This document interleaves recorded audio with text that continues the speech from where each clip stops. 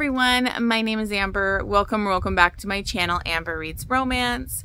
Today I am starting my vlog for the second book in the Bridgerton series. I am probably one of the only people who has not read this. Um, I haven't watched the show either, um, so I really knew nothing going in, just knowing that it was super hyped, but I had never read any of the Bridgertons. So I thought it'd be kind of a fun idea to do a vlog for each book I don't know if I'll do vlog each time or just individual reviews.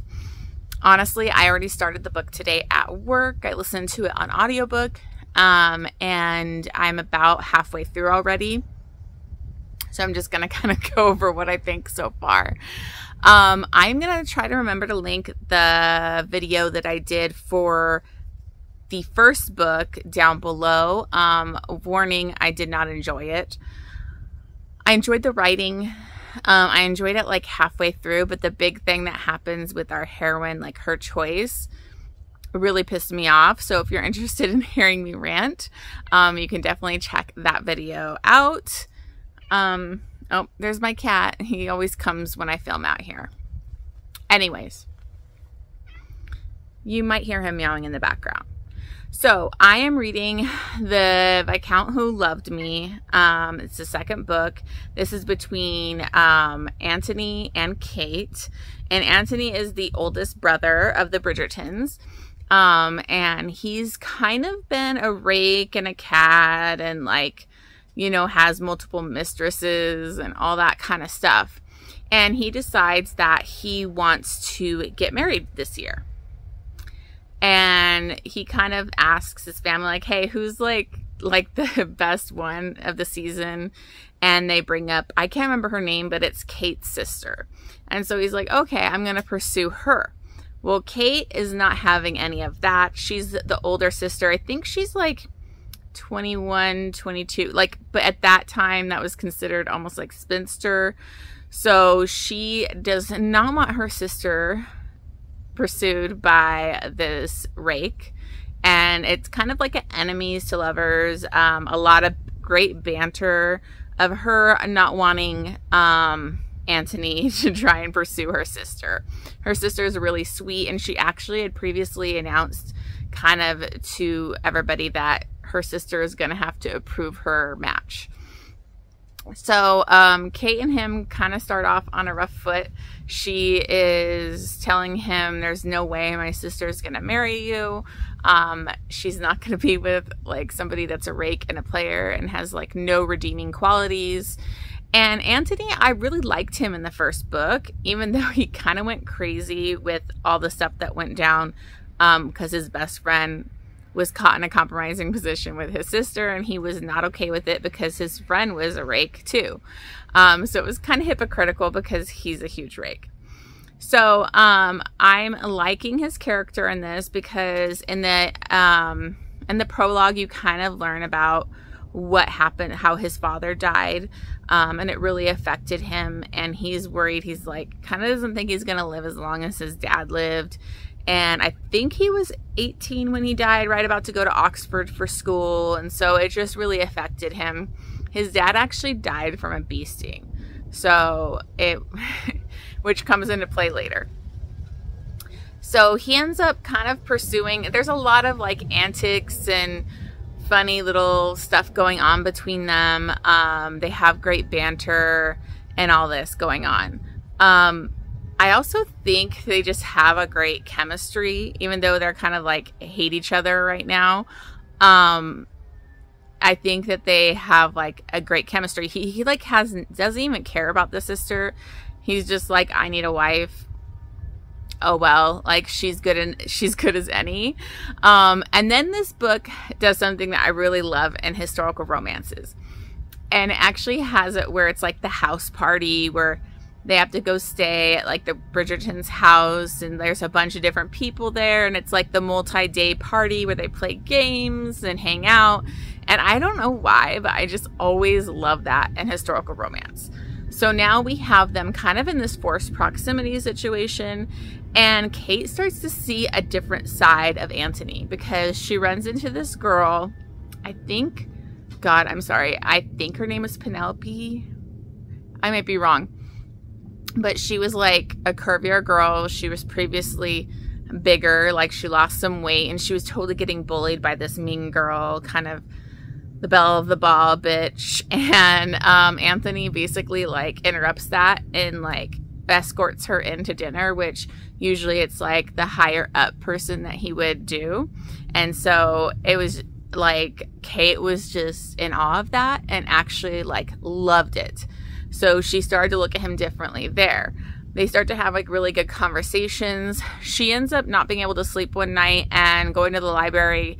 And then she kind of has a panic attack because there's this big uh, storm with lightning and all of that. And she's like having a panic attack. I think it's kind of over dramatic. It's a storm, but um, and he finds her and he helps her through her panic attack and is really sweet and kind. And so she's got totally different view of him. She even like apologizes to him and lets him know like cuz she's kind of like wants to let him know that she's not going to stand in his way and that he can pursue her sister. But she kind of wants him for herself, but she knows there's no way like he would be interested in her that they could ever be together. So she just kind of lets him know that and um they're out in this garden together and she ends up getting stung by a bee. Um, he's like freaking out because the bee's flying around her and he's so worried. Um, so she's like, it's just a bee. He's freaking out. He's grabbing onto her.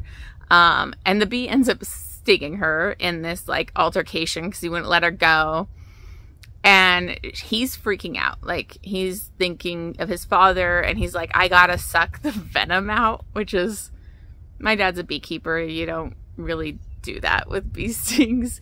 And she's just like what are you doing? Because she gets stung like kind of higher up on her chest. So it's not her boob but it's like around there. And he's like trying to suck out like venom not a snake.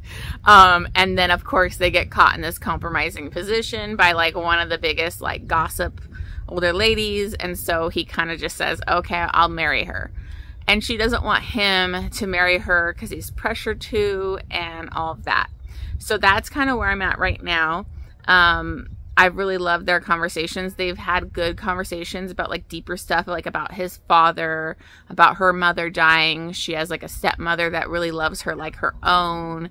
And so I really like that in this book. They have great banter, but also like a lot of deeper connections. So you're seeing them kind of learn about each other and, you know, he's attracted to her but didn't want to be attracted to her. So I'm really liking this one so far. Um, I think it's a lot better than the last one, but I like the last one until after 50%. So let's hope that the last half of this book keeps up. And then I gotta say, I still love the Bridgerton's mom. Like, she's one of my favorite characters. She was kind of like almost pushing him towards Kate because I think she could see that he was more into her than the sister from the start. So I just love her. And I think it's so badass. She like raised all her kids. I think they had like eight kids um, without the father.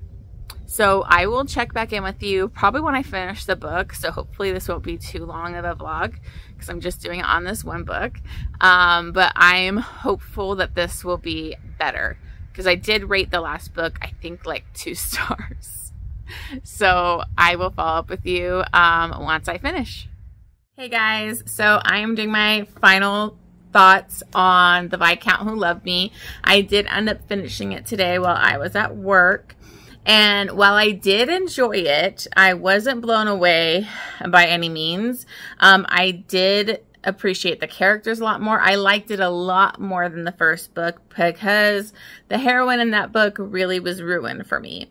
Um, but I really did like these characters. I felt their connection. They had amazing banter um, you know, they start to like really have deeper connection and conversations. So you kind of believe that they are falling for each other. My main issue was with Anthony and like him not wanting to be in love and refusing and eh, like just denying that he's in love with her and and his reason for doing it. I mean, Julia Quinn did do like a note at the end about that this is a common thing for men. Um, but I still found it to be really stupid. That's just my view. I kind of thought it was ridiculous. Like, you're going to not be in love because your father died at a young age and so he was a better man than you so you're not going to live past that, that age or something like that i don't know i just kind of checked out with his reasoning and i kind of felt it was weak like weak for it to be the main conflict here but I did enjoy everything else. Um, like he even tells her like when they're they get caught in that compromising position or what people think is a compromising position, um, he agrees to like, yeah, I'm gonna marry her he kind of jumps at that really fast and doesn't feel bad about it at all. So like that should have been the first clue. Like he was really into her. He was like having sexual fantasies and thinking about her while he was trying to like woo her sister. So it's like he was into her from the get go. Um, they had amazing banner and I really liked their dynamic. Um, and but like before they got married, he literally has a sit down conversation with her about how he will be loyal to her. He'll, you know, always once if they have a sexual relationship, he won't cheat on her, all this kind of stuff. But he says, "But I will not love you. We cannot have love in this relationship." And she's kind of like devastated because she's already falling in love with him. And then he like continues to make out with her and expose her breasts and get all up in there, but like, "Oh, I don't love you." Anyways, so the love thing kind of drew this on for me where he was continuously fighting it. I did love their first sex scene. I thought it was really sweet. I loved how he was telling her how beautiful she was and she freaked out because she's always compared to her sister and seen as like the awkward or not beautiful as beautiful as her sister and so him saying how beautiful she was she didn't think he was imagining her he like she like asked him who he's thinking about and if it was her sister. And he lays down the law, he like grabs her cheeks and he tells her, like, I don't know, I'm don't know what I have to say to you. I'm so attracted to you.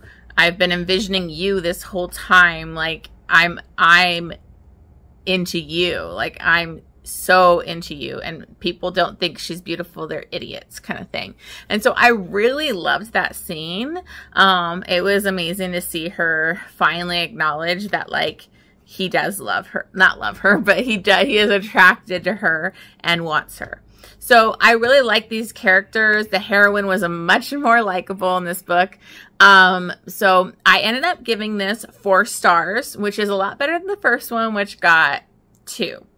So I am interested to continue this series.